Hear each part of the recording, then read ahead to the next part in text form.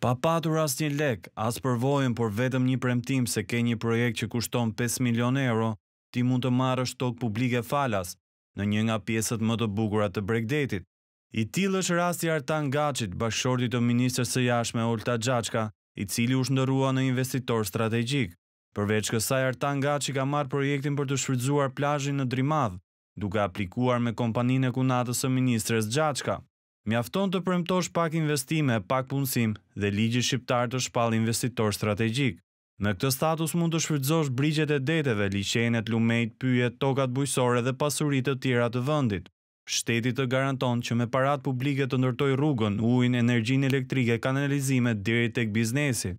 Ligji i debatuar për investime strategjike, miratuar në dy mijë e pesëmbëdhjetë, ka rritur abuzimet me pronat më të lakmuara të Shqipërisë pasi pronarët pretendojnë se po u vidhen. Një pikë tre milionë metra katrorë tokë në bregdet i është vënë në dispozicion investitorëve strategjikë gjatë pesë viteve që kur hyri në fuqi ky ligj për të zhvilluar projektet e tyre. Dy janë zonat më të kërkuara nga bizneset, e para nga Gjiri i Lalëzit deri në Hamallaj në Durrës, ndërsa zona tjetër është bregdeti i jugut duke filluar nga Palasa, Dhërmiu, Himara e deri në Ksamil.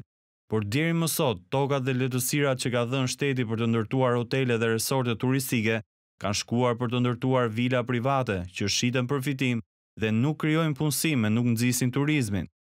Vijën më të bukur bregdetare në Shqipëri e kanë marrë nën petkun e investitorit strategjik biznesmenët e njohur për lidhje të afërta me qeverinë.